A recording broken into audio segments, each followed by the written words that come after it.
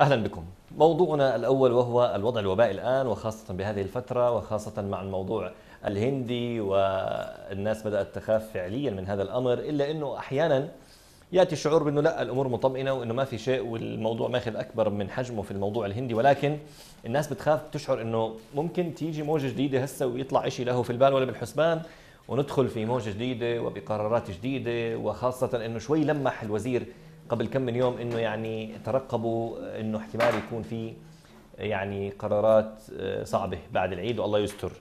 خلينا نعرف أكثر إحنا بنتابع من باستمرار الوضع الوبائي ودائما نعود للدكتور حسام أبو فرسخ استشاري تشخيص الأمراض السريرية والنسيجيه لحتى يعطينا كان يتوقع توقعات وكانت ما شاء الله دائما تصيب وكانت أيضا من ضمن الأمور إنه التركيز على المطعوم إنه ممكن ما ندخلش في موجة جديدة ولكن نتأكد منه خاصة مع موضوع الهندي الجديد لوين إحنا رايحين إن شاء الله.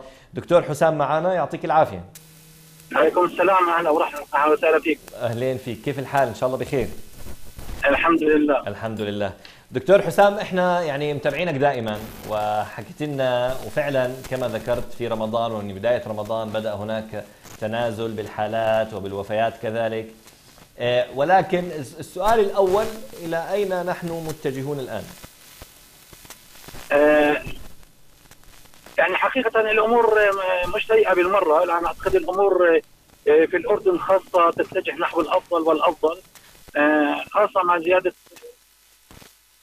الصوت الصوت واضح؟ معك تفضل.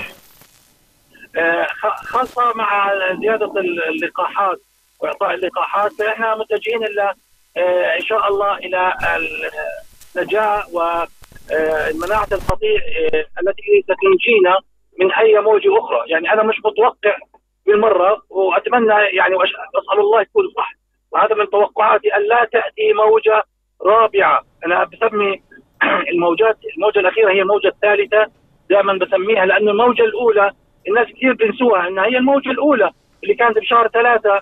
صحيح كانت ضعيفة لكنه تسمى بعضها تسمى الموجة الأولى.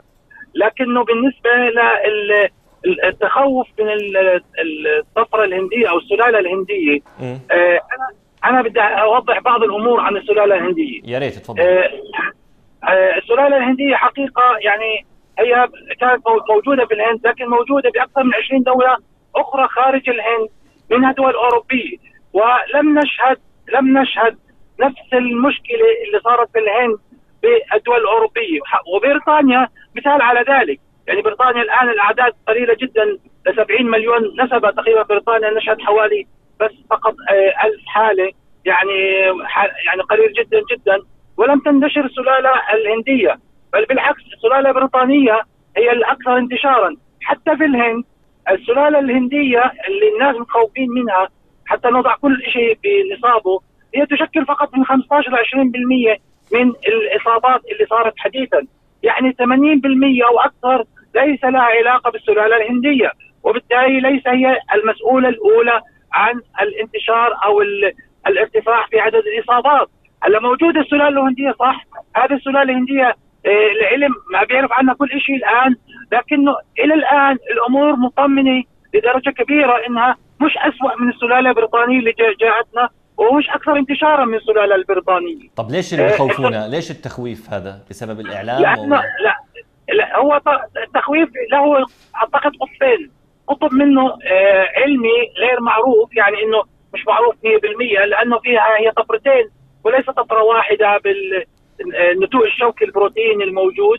آه ف لكنه أعتقد النقطة الثانية اللي بالتخويف تاعها جاي من السياسة الهندية. لأنه إذا بتعرف إنه الهند في خلال 30 يوم السابقه يعني من من من تقريبا 1 مارس إلى تقريبا نص أبريل يعني شهر ونص تعرضوا إلى ثلاث تجمعات ضخمة ضخمة جدا وليس تجمعات بسيطة. فأي سلالة سواء كانت السلاله الهندية البريطانية أو حتى الكولون القديمة وهو معظمهم عندهم الكولون القديمة يعني مئات الملايين من البشر تجمعوا بدون تباعد بدون أمور احترازية وبالتالي انتشر الوباء. فانتشار الوباء يعود إلى التصرف الخاطئ الذي قامت به الهند وليس لأنه السلاله الهنديه هي أكثر انتشارا. آه، أنا بحب أبين هذا الشيء مهم طبعا.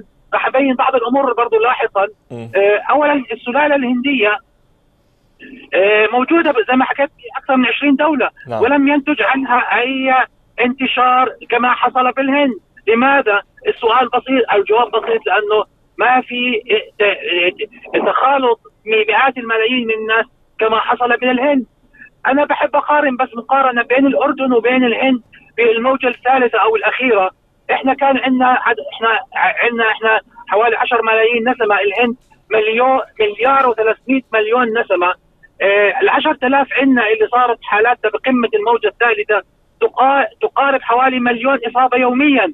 الهند ما عندهم هذا المليون إصابة يوميا. عندهم ثلث الإصابات اللي متوقعة اللي موجودة. كانت عندنا نتيجة سلالة بريطانية. فالسلاله البريطانيه هي حقيقة أخطر من السلالة الهندية. لكن الرئيس الوزراء الهندي حتى يشيل اللوم عن حاله أو بدأ يتحجج إنه والله إحنا جالس طفره والإعلام تاعه اللي حواليه لأنه هو على محك الانتخابات. فإذا يعني ثبت إنه العمل الذي عمله بإنه خلى الاجتماعات الثلاثة القوية المهمة مئات الملايين من الناس يعني أنا زي ما حكيت إنه كان عندهم اجتماع حج ديني يصير كل أربع سنوات وسمح فيه آه، يتجمع فيه ملايين الناس سمح فيه آه، عيد الألوان الذي يحصل عادة في بداية الربيع بأول بأول مارس وسمح في الانتخابات. فهذا هذا نتج عن مئات الملايين من الناس يتجمعون مع بعضهم. فهو هنا أصبح هو المتهم الأساسي. حتى ما يصير متهم أساسي هو حاول إنه ينقل لها جزء بإعلامه بوسائطه حتى من الناس اللي حواليه في العالم عشان بدهم إياه مثلا إنه يا جماعة ترى احكوا هاي السلالة الهندية والسلالة الهندية، أنا أعتقد إن السلالة الهندية ليست اسوء من السلالة البريطانية، بعض الأبحاث تقول إنه بالعكس إذا كانت سلالة هندية موجودة وسلالة بريطانية موجودة سلالة بريطانية نتيجة كثرة انتشارها هي التي تسود وهذا الذي حصل أيضا بالهند. يعني السلالة البريطانية كانت عندنا حوالي آه، معظم الحالات تقريبا أكثر من 80% من الحالات في الاردن كانت نتيجة السلاله البريطانيه ورأينا كمان كيف انتشرت الحالات 10000 حالة يوميا اللي هي أصلا تقابل حوالي مليون حالة في الهند لكن الهند عندهم حوالي 300 و 400 ألف حالة فقط. وهذا سبب الأساسي زي ما بنحكي هو التجمعات الغير منضبطة اللي صارت بدون وقاية بدون ما يأخذ احترازات ظنا منهم إن وصلوا إلى مناعة القطيع وهم في الحقيقة كانوا لسه في البداية ولم يصلوا إلى مناعة القطيع هذا طيب. عن السلالة. الهندية تمام طيب دكتور بس سؤال كيف يتم آه، في الفحص أنه هذه هندية وهذه بريطانية؟ يعني كيف إحنا هان لما أعلنوا إنه ممكن في حالة أو حالتين أو كم من حالة إنه هذه هندية؟ هل هي بنفس يعني الجهاز أو الآلية التي يتم فيها؟ أم هناك يعني تأتي آه، فحوصات أو طرق أخرى من الخارج لفحص هذا الفيروس بعينه؟ لا والله يعني إحنا عندنا بالأردن موجودة هي آه، ال gene sequencing لل يعني بيطلعوا بيساووا لكل الجينات اللي موجودة في الفيروس. فبسموه gene sequencing هذا لا تعمل روتين. آه، لكن تعمل مثلا إذا لبعض الحالات ممكن إنك تعملها والجهاز معين بيطلع لك كل الجينات ترتيبها الموجود في آه، الفيروس. طبعا الجينات بتختلف من فيروس من سلالة لسلالة. فإذا وجدوا مش شيء مشابه للسلالة الهندية وهو كان موجود عندنا شيء مشابه لها فهذا تسمى سلالة هندية. أما الفحوصات ال PCR العادية آه، آه، لا يجب أن يكون هناك kit يعني آه، محطوط بالسلالة الهندية والسلالة البريطانية. يعني هلا قبل السلالة البريطانية ما تأتي ما كان عندنا kit في ال PCR يفحص لها لكن الفحوصات ال kit ات الجديدة بال PCR نتيجة انتشار السلالة البريطانية صارت تكشف لنا السلالة البريطانية. هلا ممكن ب kit ات جديده تصير تكشف سلالة بريطانية مع السلالة الهندية. لكن حتى نعرف أو بالبداية يجب أن يكون بشيء اسمه gene sequencing يعني بنعمل بنعمل آه، تفاصيل الجين تاع الفيروس ونكتشف إنه ترتيب الجينات زي ما هو موجود في آه، السلالة الهندية. نعم نعم نعم. إذا من الناحيه العلميه طبيعي أن نسمع أو أن عندما نعلم أن هناك آه، فحص أو سلالات أخرى أو الهندية اذا هو صحيح بطريقة العمل وطريقة الفحص. سؤالي لك اذا من من كلامك هذا أنت ما زلت مقتنع أو يعني ميال أكثر لأنه لن يكون هناك سلالة جديدة وبالتالي لن يكون هناك يعني حياة صعبة كما مرت سابقا. لا هو السلالات راح تظل تظهر هذا طبيعة الكورونا يعني. إحنا ما راح إحنا راح راح نمشي زي ما هي الكورونا ماشي بهالمرة والمرات السابقة. أنا مقتنع لدرجة كبيرة جدا إن الموجه الثالثه اللي إحنا الآن في نهايتها هي الموجه الأخيرة بإذن الله. سوف يكون هناك بعض الإصابات من هنا وهنا لكنه هذه الموجه الثالثة. لكن أنا بنصح المواطنين ما يتعجلوا يعني يظلوا يأخذوا الكمامات والتباعد حتى نهاية شهر 8 أنا متوقع وتوقعت هذا حقيقة الكلام يمكن اللي متابعيني نعم يعني. يعرفوا توقع يعرفوا توقعاتي إنها يعني لدرجة كبيرة جدا صادقة لأنها هي لا تنقص. والله إني أنا بد يعني بتخيل لا أنا بدرس الأمور وأتوقع وتوقعت حقيقة الأعداد تقريبا بالضبط ما ماذا سيحدث معنا ببداية رمضان وقبل رمضان وعلى العيد وبعد العيد. وأنا كتبت هذا في صفحتي على الفيسبوك. نعم وأنا أشهد عليها بلقاءاتنا معك يعني. يعني نعم. يمكن يعني يعني أنا سمعت كثير من الناس حتى في ونحن آه، لما أنا وصلت قلت في نحن وصلنا القمة بتاعت الموجة الثالثة. في بعض الناس طلعوا قالوا إن سنصل إلى قمة أكثر بعد خمس أسابيع. وكان يعني توقعي بناء على دراساتي هو أدق بكثير. وفعلا وصلنا القمة. في كانت آه، بنص شهر ثلاثة وبدأنا ننحدر. أنا لا أتوقع نرجع أنا لا أتوقع حقيقة أن يكون هناك موجة كبيرة للكورونا الكوفيد 19 مرة أخرى بالأردن بإذن الله، لكن علينا أن نسرع باللقاح إعطاء لقاح جرعة واحدة، يعني اليوم أنا حطيت على صفحتي بالفيسبوك معلومة مهمة جدا، دول أوروبا كلها بدأت تنادي بأنه يا جماعة بدنا جرعة واحدة بدناش جرعتين للقاح، يعني السويد صارت تعمل هذا الشيء، النرويج قالت سنعطي جرعة واحدة للجميع لجميع قبل أن نعطي جرعة ثانية للناس. يعني أنا هذا ناديت فيه يمكن أنا ناديت فيه برضه على على قناتكم ناديت فيه يمكن عدة مرات ويمكن تسألتوني من شهر واحد وأنا نادي فيه يا جماعة مش داعي لجرعتين الجرعه الجرعة الأولى ان الجرعة الثانية بتزودك مناعة من 90 ل 95 إحنا خلينا نزود الصفر لل 90 مش نزود من 90 ل 95 وهذه الدول الأوروبية بدأت تقتنع فيه وبدأت تعمل فيه. بريطانيا طبعا أول دولة عملت فيه. وهلأ مجموعة من الدول إسبانيا السويد اليوم بقرأ والنرويج حتى الدول العربية الكويت بدأت تعمل فيه السعودية بدأت تعمل فيه. لأنه وجدوا إنه عدد الناس أهم من آه، عدد الجرعات. يعني أعطي عدد كلما أعطيت لناس أكثر. حتى لو جرعة واحدة أنت انقذتم من الإصابة الصعبة وانقذتم من الموت. آه. أما تخلي ناس مطعمين سنتين حتى الملقح يعني جرعتين. على فكرة إذا زادت المرض يكون أسوأ أسوأ لو إنه الجميع أخذ لقاح واحد. لأنه هذه اللقاحات مناع قوتها تقل عندما نكون في قمة الوباء. يعني يعني مثلا لو فرضنا فايزر قوته من 90 ل 95 بقمة الوباء راح تنزل ل 70 و80 لأنه الانسان يتعرض إلى التهابات أكثر. أما إذا كان كلما قال كان الناس أقل وكان فرصتهم نقل الفيروس أقل لأنه وجدوا إنه اللي بياخذوا اللقاح فرصتهم نقل الفيروس أقل بكثير. وهنا إحنا بطبيعتنا راح ننجو من هذا اللقاح. يعني هذه شوف هذه الأشياء البسيطة الغلطات البسيطة بهذه الأمور قد تؤدي إلى كارثة آه، في البلد. يعني في بلاد أخرى يعني عن جد أخروا كثير. واعطوا لقاحين لناس نعم. واهملوا ناس وأدت إلى نعم.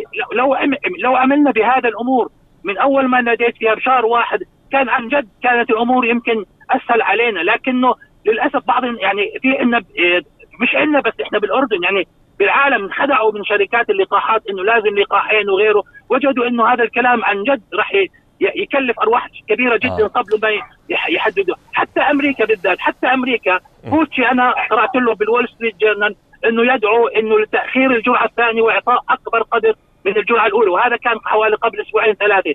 يعني الناس بدوا يقتنعوا إنه عدد الناس الملقحين حتى لو جرعة واحدة أحسن بكثير من إنك تلقح ناس جرعتين. وهذه نعم. أعتقد هلا النقطة هذه مهمة عندنا في نعم. الأردن. طيب آه، دكتور سؤال مهم جدا. الآن بعض الناس لما بدهم يسافروا أو مثلا يروحوا عمرة أو كذا أصبحوا يصطدموا في موضوع الاعترافات بالدول بالمطاعيم عن غيرها.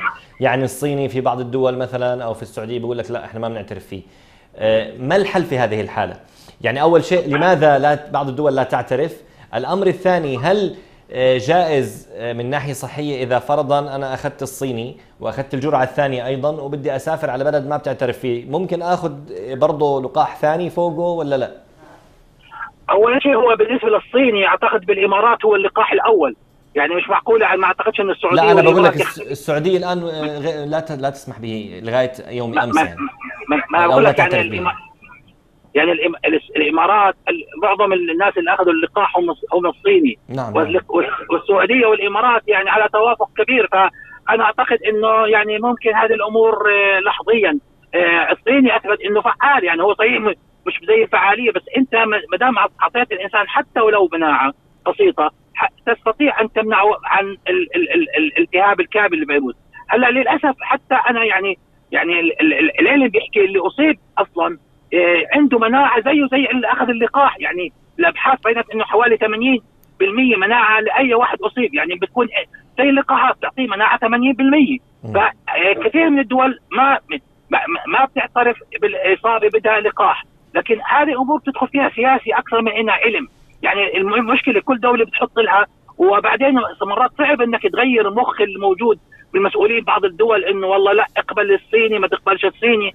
أعتقد إنه هذه الفترة هي فترة ال ال ال عدم اليقين. راح تستمر لمدة شهرين ثلاثة. بعدين فجأة راح يكتشفوا الناس إنه والله إيش الصح من الغلط. يعني في طيب. البدايات سيكون هناك تردد. لكن أنا أتوقع مع شهر ستة لما حالات عن جد تقل كثير كثير في الأردن بإذن الله وفي العالم أنا متوقع الكثير من دول العالم متوقع هم متوقعين إنه يرجعوا. بريطانيا على فكرة رجعت تقريبا شبه طبيعية قبل من نص شهر أربعة. يعني إنه صارت حتى الكل حتى بدون كمامات. نعم. أنا ما طبعا لا لا أشجع بدون كمامات.